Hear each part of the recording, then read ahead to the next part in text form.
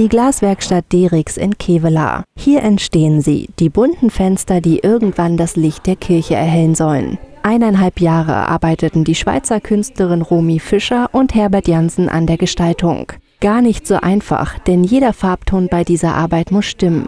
Anfang 2012 ist es dann endlich soweit. Der erste von drei Teilen der Fenster wird eingebaut. Zwei Jahre später folgt dann der zweite Teil. Ein langer Prozess. Die Freude der Künstlerin war deshalb groß. Ich war völlig überrascht.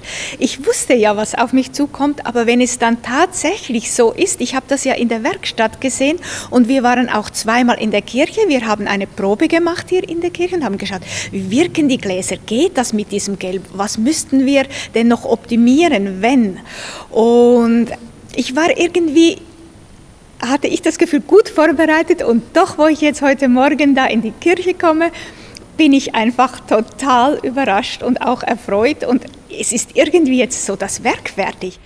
Eingesetzt werden die Fenster in den Räumen der evangelischen Kirchengemeinde in Mitte-Meiderich. Ein weiterer Schritt zur Verschönerung der Kirche, die bereits 2006 saniert werden musste. Wie auch viele andere der älteren Kirchen wurde auch sie mit den Jahren brüchig. 2009 feierte sie dann die Wiedereröffnung. Die neuen Fenster bilden dabei eines der Highlights. Mit einem zarten Königsblau und feinen Rottönen entsteht hier ein ganz eigenes Lichtkonzept. Für Frederik Kossmann, den Pfarrer der Kirche, hat dieses Projekt eine ganz besondere Bedeutung bekommen. Wir haben auch geguckt, wie äh, sind jetzt sozusagen der künstlerische Aspekt, was heißt das auch theologisch, wie kann man das Ganze umsetzen. Da sind wir immer im Kontakt geblieben in der Zeit und daraus ist eine Freundschaft erwachsen, die uns sehr gut tut und einfach sehr schön ist.